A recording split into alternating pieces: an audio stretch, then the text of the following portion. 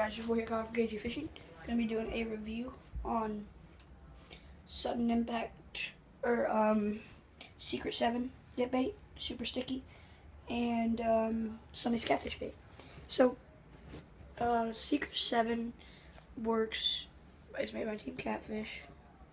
Secret Seven works absolutely amazing. Um,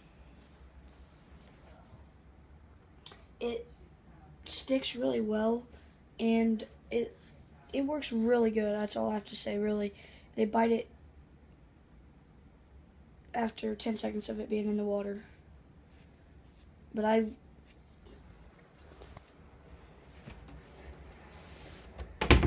but me i'm the person who i hate fishing catfish bait at the at lakes.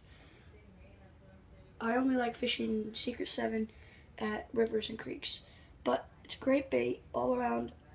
Amazing bait. You get a lot for that little of cup. So scale 1 to 10, what do I rate? Secret 7, I rated an 8. Sonny's catfish bait. Uh, Sonny's catfish bait is not good unless you get super sticky. If you get super sticky, you will catch catfish in half the time of Secret 7. You will catch them in 5 seconds. The biggest, I mean, I've ran out of jars in a day. And the biggest catfish I ever caught on Sonny's was 10 pounds, and it was a blue cat. So scale 1 to 10, Sonny's catfish bait, I rated a 10.